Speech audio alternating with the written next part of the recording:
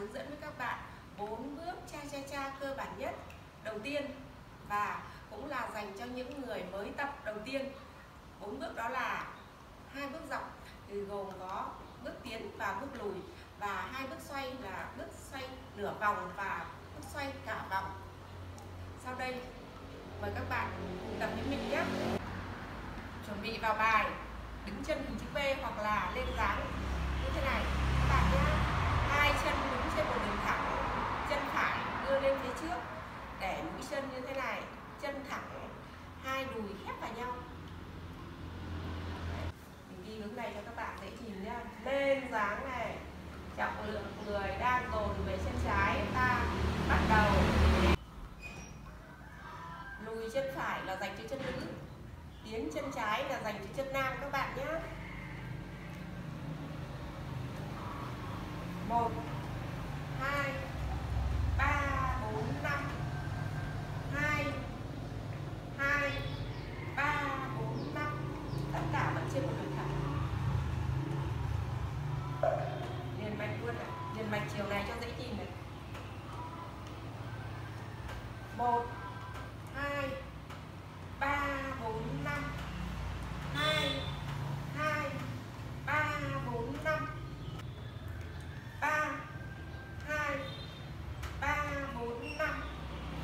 Bốn, hai, ba, bốn, năm. Bây giờ mình sẽ đi liền bạch 8 câu nhé. Bốn câu đúng này và bốn câu hướng này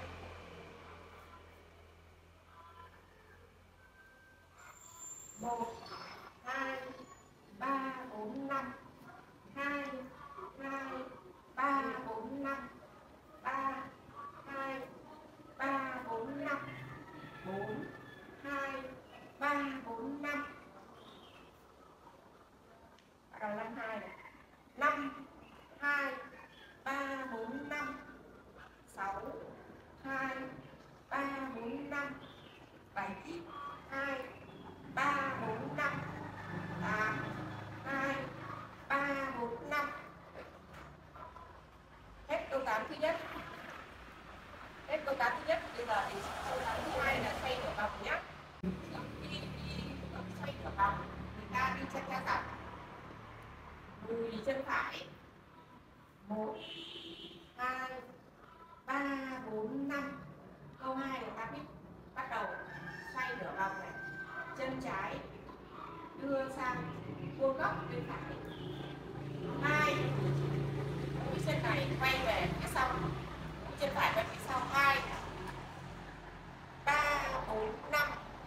Quay thì quay đi bên phải, quay về là quay bên trái ba hai ba năm sẽ làm lại câu 8 thứ hai ở hướng nhịp cho nhìn cho các bạn nhé câu tám thứ hai là xoay nửa vòng này. Chân vẫn đứng trên một đường thẳng. Lùi chân phải về đằng sau. Một, Đón gót chân trái lên. Hạ gót chân trái xuống. Hai ba bốn năm bước hai bắt đầu xoay nửa vòng này hai mặt và mũi tay về phía tay phải vuông góc hai, ba, bốn, năm. Xoay đi bằng phía phải, bây giờ xoay về phía tay trái. Câu ba ba, xoay mũi chân này. Hai, ba, bốn, năm. Câu bốn bước chân trái lên đi chân cha dọc bốn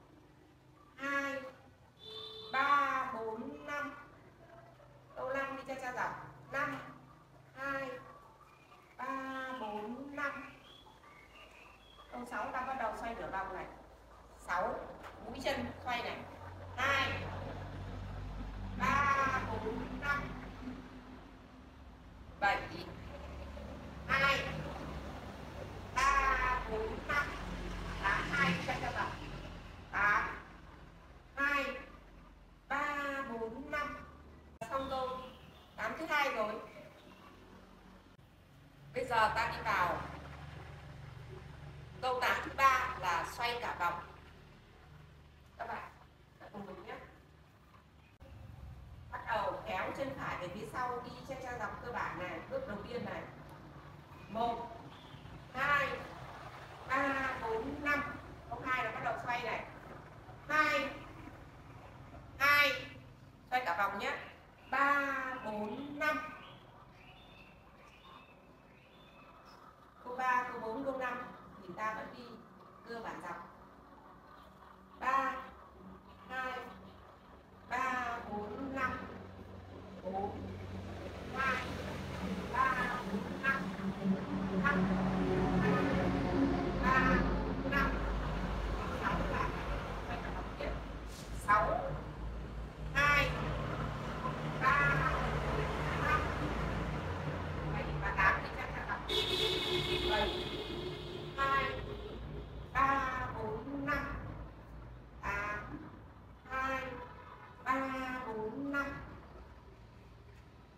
bây giờ mình xoay về phía này để các bạn nhìn chân cho dễ một hai ba bốn năm hai hai ba bốn năm ba hai ba bốn năm bốn hai ba bốn năm năm hai ba bốn năm sáu hai ba bốn năm chân vẫn đứng trên một đường thẳng câu 6 xoay xong rồi là câu 7 câu 8 cha cha dọc 7 2 3 4 5 8 2 3 4 5